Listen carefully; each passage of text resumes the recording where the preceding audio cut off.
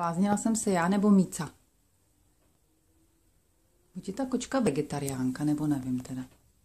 Koukám, ta se mazlí ze vším. S kytkama, s jabkama, hopsámi v míse na ovoce. Míco, co to je?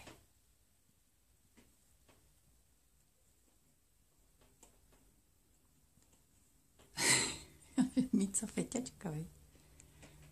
Mítinko, ty chceš jablíčka, díky. Mící, Míco, Mícinko.